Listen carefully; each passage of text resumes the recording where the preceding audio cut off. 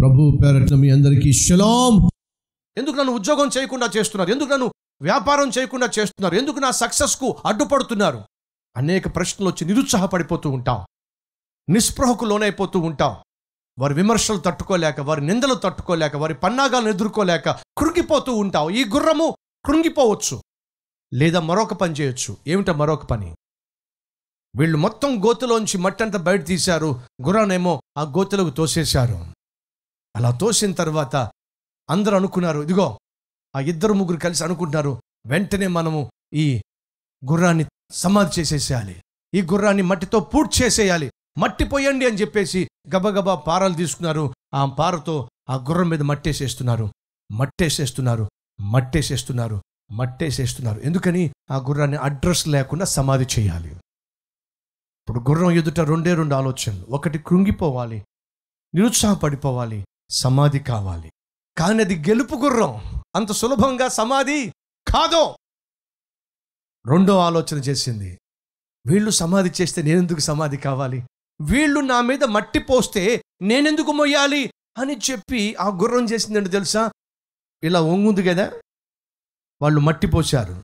మట్టి పోస్తే ఇది మామూలు గుర్రం కాదు. ఏ గుర్రం తెలుసా? దులుపుకోవడం నేర్చుకున్న గుర్రం. ఏ గుర్రం? దులుపుకోవడం నేర్చుకున్న గుర్రం. వాళ్ళు మట్టి పోస్తే ఒక్కసారిగా దులిపేది ఇలాగా. ఏమైంది చెప్పండి మట్టి కాస్త? కింద పడింది. మళ్ళీ మట్టి పోశారు. దులిపింది మళ్ళీ. దులిపింది దులిపింది దులిపింది. వాళ్ళేమో గంట సేపు కష్టపడి మట్టంతా పోసేశారు పోసేశారు పోసేశారు. పోసిన ప్రతిసారి దులిపింది దులిపింది దులిపింది దులిపింది. మొత్తం మట్టంతా పోసేశారు బయటికి తిరిగితే అది బయటకు వచ్చి నిలబడింది. ఏం చేసింది? చక్కగా బయటకు వచ్చి నిలబడి ఇదేంటి మనం సమాధి చేసేసాంగా నేను దులిపేసుకున్నానుగా. ఆధ్యాత్మిక జీవితంలో పోరాటంలో నువ్వు గెలవాలి అంటే శత్రువుల మధ్య నిలబడాలి అంటే దులుపుకోవడం నేర్చుకో. అడ్డమైన వాడు అడ్డమైన మాట అంటూ ఉంటే పడవలసిన కర్మ నీకు లేదో నిన్ను విమర్శించేవాడు విమర్శిస్తూ ఉంటే నిందించేవాడు నిందిస్తూ ఉంటే నువ్వు చేయాల్సిన సేవ ఆపేయాల్సిన అవసరం లేదో నీ ఆత్మీయ జీవితం నువ్వు సమాధి చేయాల్సిన అవసరం లేదు. నువ్వు చేస్తున్న ఉద్యోగాన్ని విరమించవలసిన అవసరం లేదు. నువ్వు చేస్తున్న వ్యాపారాన్ని ఆపేయాల్సిన అవసరం లేదు. పని పాట లేనటువంటి కుక్కలు మరుగుతూనే ఉంటాయి. నీ గెలుపును నీ అభివృద్ధిని చూసి వారవలేని అసూయ శత్రువులు నిన్ను సమాధి చేయడానికి మట్టి పోస్తూనే ఉంటారు. ఆధ్యాత్మిక జీవితంలో నేర్చుకో. ఏమిటి? దులుపుకోవడం.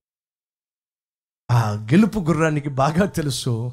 వీళ్ళెవరు నా మీద మట్టి పోయటానికి. ఆ మట్టి నా కాళ్ళ కింద తొక్కుతాను తప్ప మట్టి మాత్రం నా మీద పడనివ్వను.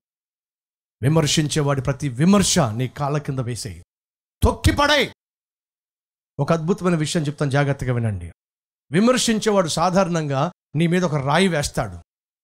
నువ్వు తెలివైన వాడివైతే ఆ రాయి పట్టుకో నీ కాళ్ళ కింద వేసుకో. మళ్ళీ వాడు రాయి వేశాడు ఆ రాయి పట్టుకో కాళ్ళ కింద వేసుకో. వాడు ఎప్పుడు కూడా అక్కడే ఉంటాడు. నువ్వు మాత్రం పైకి పైకి వెళ్ళిపోతా ఉంటావు. కారణం ఏమిటి? నువ్వు తెలివైన పని చేస్తున్నావు. ఏమిటి? వాడు విమర్శించినప్పుడు దాన్ని నెత్తి మీద పెట్టుకోవట్లా. ఏం చేస్తున్నావు? దాని కాళ్ళ కింద తొక్కేస్తున్నావు. తొక్కిపడే ఎవడు విమర్శించినా నిర్నిమిత్తముగా నిందించిన నీ మీద అబండాలు వేసిన నువ్వు దేవుని ఎదుట నిందారహితుడిగా జీవిస్తున్నట్లయితే వాక్యానుసారంగా బ్రతుకుతున్నట్లయితే నీ మీద వేసే ప్రతి రాయిని నీ కాళ్ళ కింద వేసి తొక్కేసేయి. విమర్శించేవాడి ప్రతి విమర్శను నీ పాదాల కింద వేసి తొక్కిపడాయి. అంతేగాని అది నీ మనసులో కానీ నీ మెదడులో కానీ నీ హృదయంలో కానీ రానేమాకు నా జీవితంలో నా- నా దేవుడు నాకు నేర్పించిన పాఠం ఇది. నాకు దేవుడు ఏ పాఠం నేర్పించాడో ఆ పాఠం ఈరోజు మీతో పంచుకుంటున్నాను. దులుపుకోవడం దేవుడు నాకు నేర్పించాడు.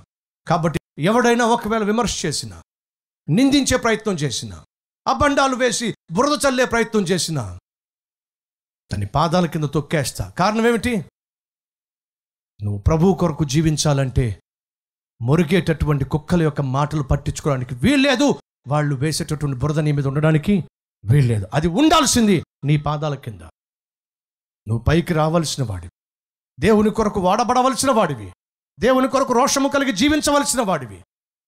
నీ ఆత్మీయ జీవితాన్ని కట్టుకుంటూ ప్రభు యొక్క సాక్షిగా జీవించవలసిన నీవో విమర్శలకు నిందలకు భయపడమాకు. ఆనాడు దావీదు భయపడలా దిగులు పడలా నిరుత్సాహపడలా. దావీదు వలె ఆత్మీయ జీవితంలో దేవునికి స్థానాన్నిచ్చి ఆయన చిత్త ప్రకారం జీవిస్తూ ఆయన వైపే చూస్తూ శ్రమల మధ్య కన్నీటి మధ్య కష్టాల మధ్య అవమానాల మధ్య నిందల మధ్య విమర్శల మధ్య దేవుని వైపే చూస్తూ దులుపుకోవడం నేర్చుకో. ఏమవుతుంది? వాళ్ళ వేసిన మట్టే నీకు పైకి రావడానికి ఆధారం అవుతుంది జయశాలిగా జీవించడానికి అనుకూలంగా మారుతుంది. ఇలా ఎంతకాలం? జీవించినంతకాలం ఈ ఆత్మీయ యాత్రలో షిమీలు ఎదురవుతూనే ఉంటారు. నువ్వు నేనేం చేయాలి? క్రీస్తునే చూడాలి. ఆ క్రీస్తు వైపే చూస్తూ ఈ శాపనార్థాలు ఈ విమర్శలు ఈ బురదలు నా దేవుడు నాకు ఆశీర్వాదకరంగా మార్చేస్తాడు. వీటిని పట్టించుకోవాల్సిన అవసరం లేదు. ముందుకు సాగుదాం. ముందుకు సాగడానికి తీర్మానం తీసుకుంటారా? నాతో పాటు ఈ ప్రార్థనలో ఎక్కివిస్తారా మీ హస్తాన్ని ప్రభు చూపిస్తారా?